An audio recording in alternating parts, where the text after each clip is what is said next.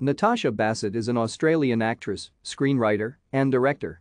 She played Britney Spears in the Lifetime biopic Britney Ever After, which premiered on 18 February 2017. Her 2014 short film titled Kite, which she wrote and directed, was accepted into the Rhode Island International Film Festival.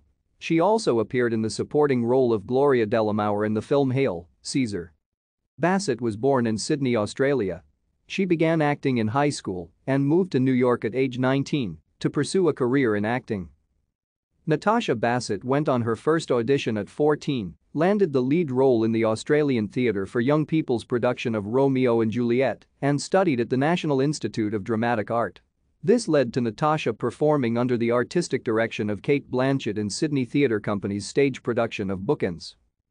Natasha landed the lead in the MTV film, Dinguna, and appeared on several Australian television series, Wild Boys, Cops LAC. Thank you for watching.